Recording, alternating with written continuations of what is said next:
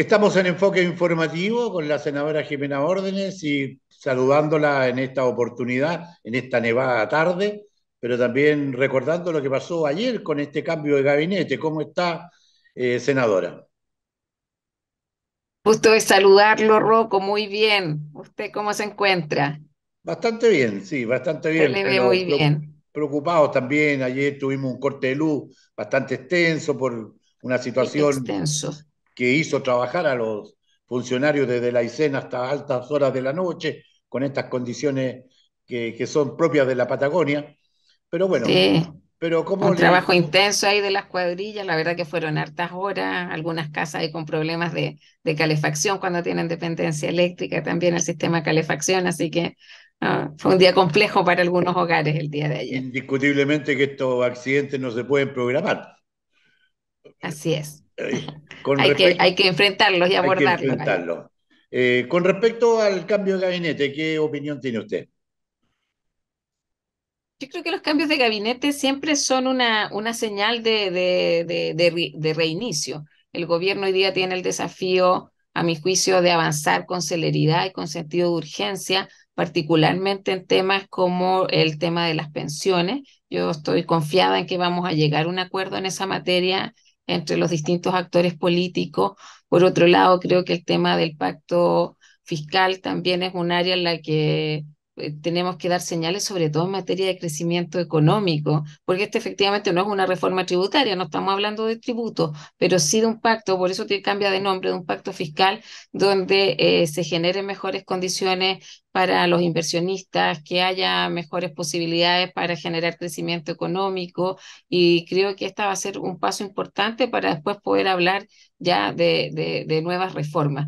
Eh, más allá que fueron, bueno, cambios que quizás eh, no todos en esta, en esta materia, de hecho en esta materia se, se mantienen los, ministros, pero creo que era una señal política necesaria para, para marcar una inflexión en la agenda política y abordar los desafíos que tenemos, y no solo esto, los temas de seguridad pública, Rocco, que eh, son transversales en todas las regiones del país, avanzar en una agenda de probidad rápidamente, y bueno, en las áreas en las que yo me desempeño como como salud, yo creo que tenemos que avanzar todo rápidamente en una ley corta y SAPRO y también estamos avanzando en la lógica de una, de una reforma, o sea, reducir las listas de espera, que superan en muchos casos el, el año. Eh, hace poco veía unas noticias que la verdad que es bien preocupante, así que yo espero que con esta señal eh, haya un reordenamiento también del oficialismo eh, un reordenamiento de la agenda y un mejor diálogo con la oposición para llegar a los acuerdos que se requieren para avanzar en temas tan estratégicos como los que le mencioné al inicio. Ya que usted estaba en el área de la salud, ¿cuáles son temas como, por ejemplo, el olvido oncológico? Sí, ese es un proyecto de ley del cual yo soy una de las autoras, que hemos trabajado con el senador Matías Walker, el senador Chaguán, el senador Gaona y el senador Castro. Este es un proyecto, a mi juicio, bien importante, Rocco, y lo quiero comentar porque primero es una modificación a la Ley Nacional del Cáncer que aprobamos hace un par de años, eh, pero que establece efectivamente, o mejor dicho, reconoce el derecho al olvido oncológico. Nosotros lo entendemos de la siguiente manera. Las personas y los sobrevivientes de una enfermedad tan compleja como es el cáncer, pasado un tiempo y cuando ya al- su, su alta clínica en definitiva, que ahí estamos, se habla de cinco años, otros hablan de menos, pero es una cifra de la que cual eh, deberíamos llegar a un, a un, a un consenso y una definición clara cuando, desde cuando hay una alta clínica. A veces después quedan estigmatizados y son discriminados, por ejemplo, con instituciones financieras como para acceder a un crédito o, dado que padecieron cáncer, para acceder, por ejemplo, a un seguro de salud. Entonces, acá se establece y se reconoce el derecho al olvido oncológico para que las personas y su familia que han vivido con, o que han experimentado o algún tipo de cáncer no sufran nunca más una desigualdad de esta naturaleza, o sea, que tengan las mismas condiciones a la hora de ir a buscar apoyo en el sector financiero o, o, acceder a algún seguro, que el haber padecido una enfermedad no los eh, coloque como sujetos de discriminación a la hora de acceder a eso. Nosotros ya lo aprobamos en, en, en, en la Comisión de Salud y esperamos, esta, yo espero que la próxima semana o en dos semanas más que ya lo veamos en sala para que pase a su segundo trámite. Bueno, lo, lo, comentábamos también porque hemos tenido acá dos diputadas que han pasado por este tránsito tan complejo y que ellas también están, la diputada me refiero a, sí, Araceli Luque, Una ex colega y una, la, la, actual colega. Le mando un saludo también a Araceli y Marcia. Correcto. Sin duda. Porque tienen la, incluso tienen la experiencia, hay muchas personas. Yo les quiero agradecer acá también hay organizaciones que han empujado fuertemente esta Oncomamás, que es una organización nacional. Eh, yo quiero trabajarlo también con las organizaciones de, de, la región, pero esperamos sacar adelante prontamente este proyecto que, que, que presentamos, que ya estamos tramitando. Y en la región ya se ha avanzado también un poco en esta materia. O sea, tenemos que legislar. Yo espero que, que, porque este es bien específico, o sea, para mí fue un gran logro tener una ley nacional del cáncer, que haya un plan preventivo, un plan nacional. Empezamos a hablar de los centros de oncología, eh, de, también de investigación, pero, pero falta esta arista que es el derecho a las personas, que se les reconozca el derecho al olvido oncológico. O sea, si usted tiene su alta, alta clínica, que puede acceder a un seguro en las mismas condiciones que personas que eh, para el sistema son sanas. Correcto, gracias. En, otra materia, solamente para consultar su punto de vista, eh, en relación a los asistentes de la educación que ya llevan más de 12, 15 días haciendo manifestaciones puerta a puerta, tomándose las carreteras y haciendo ver la, situación de ellos. ¿Tiene alguna información usted al respecto? Yo he estado trabajando muy cerca de los asistentes de la educación hace muchos años y quiero recordar también un dirigente ah, con quien eh, trabajamos el estatuto para los asistentes de la educación, que es Joel Chodil. En esa instancia, cuando aprobamos ese estatuto, que ya a mi juicio reconocía el trabajo de los asistentes de la educación, porque son quienes sostienen los establecimientos eh, municipales y, bueno, y aquellos que han sido traspasados al SLEP también ahora, eh, tenemos yo creo que todo el compromiso de seguir avanzando en eso, porque después sacamos la ley interpretativa para, para tener mayores certezas respecto a cómo se entendían, eh, sobre todo los temas de traspaso, pero hoy día la región ellos se encuentran movilizados porque se requiere que se reconozca la asignación de zona, y eso es algo que planteamos desde la discusión del estatuto, y lo que logramos en esa época fue que efectivamente se realizara un estudio de brechas, en definitiva, para ver cuánto es lo que eh, a lo que correspondería esa asignación. Ese estudio ya está, culminó, pero entiendo que faltan algunos detalles. Yo lo que ahí he insistido con el gobierno, particularmente Ministerio de Educación y Ministerio de Hacienda, que se aborde esta instancia con los temas regionales, porque lo que ocurre generalmente en conversaciones nacionales que como tiene que ver con la zona, eh, eh, nuestra región en particular no queda como prioritaria y así como avanzamos en temas que son muy importantes como el estatuto, por ejemplo, eh, este tema quedó postergado y yo espero que en el marco de la discusión de la ley de presupuesto, porque esto es presupuesto, Rocco, efectivamente que, pues eso depende de, de, particularmente del Ejecutivo y del Ministerio de Hacienda, se reconozca que aquí hay una brecha, en particular con los asistentes de la educación de ISEN, y podamos avanzar en una mejora que sea significativa, porque la verdad que los ingresos eh, son bajos para todo el trabajo que realizan, eh, desde eh, aquellos que están en, las áreas administrativas, operacionales, también hay profesionales en, esta, en estos staff, pero que se detalle precisamente para identificar efectivamente cuáles son la, la, lo que nosotros llamamos las brechas y poder abordarlo. Un poco el trabajo que hemos hecho también, yo estoy de garante a partir del trabajo que hicimos la ley de presupuesto del año 2023 a nivel nacional con el senador García Ruminot para avanzar también en brechas que entre los trabajadores jardines BTF y trabajadores Junji Integra. Y ahí hemos avanzado al menos en el reconocimiento de, de, bonos que se, que se adeudaban desde el año 2016-2019. Así que yo espero que con ese mismo espíritu que Educación ha abordado el tema de, los, de la situación de los trabajadores BTF, se entienda también la situación particular que están enfrentando los asistentes de la educación. Así que yo espero por estos presupuestos que exista la voluntad de avanzar rápidamente en los detalles de lo que se requieran del estudio, tener cifras, consensuar y poder avanzar en una mejora significativa este, ahora los ingresos. Con la salida del ministro Antonio Ávila, ¿esto se puede eh, traspasar en el tiempo o hay continuidad para que su nuevo ministro siga la, la ruta?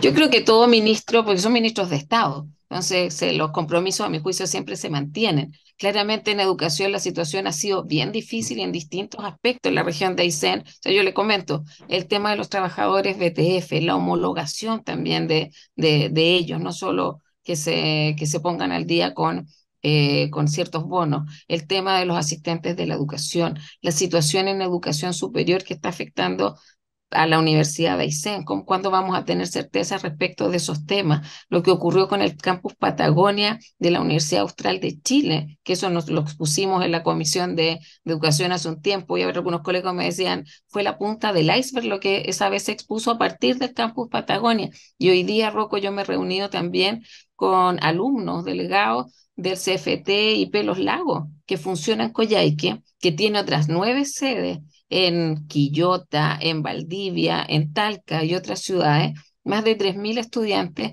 que hoy día también están enfrentando una tremenda incertidumbre. Yo me he comunicado con el subsecretario de Educación Superior, con el superintendente de Educación también, porque acá hay que tener claridad primero de los procesos investigativos, si es que hay o no existen cargos, qué medidas se van a tomar y si al final del día va a haber un administrador provisional como lo establece la ley pero va a ser, aprovechando el tema, eh, este tema del Centro de Formación Técnica eh, también está en Aysén y también, como dice usted, en Los Lagos, ¿no? Lo que hay, el, no, cuando se crearon 15 CFT, yo también estuve dentro de la semana distrital con el rector Víctor Hugo Álvarez del CFT de Aysén. La verdad que ahí hay buenas noticias porque es un proceso que avanza, yo creo que es un trabajo que se ha desarrollado en Aysén de manera seria, pero en Coyhaique el CFT-IP eh, Los Lagos hoy día enfrenta una tremenda complicación porque están cerrando, les cerraron el primer semestre, no han ingresado a clases no, nadie responde, porque ahí también esto está mezclado con el caso que se conoce como el caso fundaciones. O sea, esta, esta, el IP y CFT Los Lagos que administraba eh, la corporación Kimun y que fue después vendida a una fundación, hoy día, porque uno se pregunta igual, Rocco, o sea, si esto no es un, no son productos, mm, o sea, se vendió una, un plantel de, con estudiantes, nadie les dio una explicación. Y, ahí yo voy a apoyar claramente también la, a los estudiantes, a los trabajadores, y ahí también un llamado, aprovecho de hacerlo, al Ministerio de Educación, al Ministerio del Trabajo, por lo que conversé eh, con las autoridades nacionales. Hoy día, al menos en, el, en, en los lagos, en el, en el IP Los Lagos y CFT, ya hay dos procesos investigativos, se ven como procesos distintos. Es probable, creo yo, que se eh, nombre o se designe a un administrador provisional, pero eso es lo, la última ratio, es cuando uno ya está, se está pensando en el cierre de una institución que efectivamente, estas instituciones además no están acreditadas, que están en una situación muy, muy compleja. Entonces, si hay un ámbito en la región de Aysén donde están, hay, yo diría que varias crisis en curso, eh, desde la lo, lo, que ocurre con los asistentes de la educación, lo que está ocurriendo en la educación superior, eh, claramente hay harto que hacer en esta materia. Yo espero ahí que eh, un cambio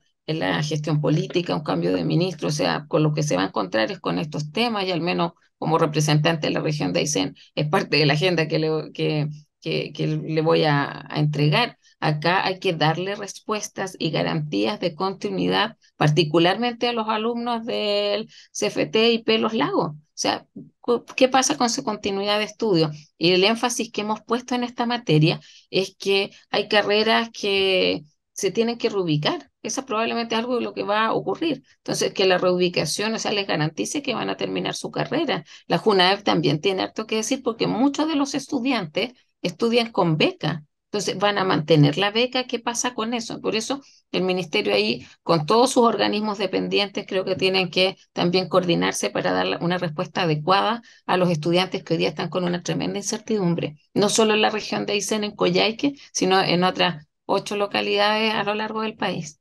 Pero naturalmente que usted es un garante para que esto tenga un mejor final porque no puede Nosotros, efectivamente, como oficina parlamentaria, los estamos apoyando. Yo les agradezco también la confianza y la conversación, pero le confieso, Rocco, que claro, lo que estaba pasando en la Universidad de ICEN, versus lo que ocurrió también en el campus Patagonia, acá creo que reviste incluso eh, mayor gravedad de situaciones que ya eran muy complejas. Por lo tanto, hay que dar señales claras en lo que tiene que ver especialmente con la educación superior, cómo está funcionando la educación superior en la región de Aysén. Así que esperamos que, eh, porque la ley garantiza la continuidad de estudios, pero tiene que ser, o sea, cumplir con cierto estándar. O sea, yo creo que falta mucho todavía por dar a conocer respecto no solo de los cargos que se les formularán a cada una de las instituciones, sino de cómo continúa el proceso de estudio para los estudiantes, qué pasa con los trabajadores, que no,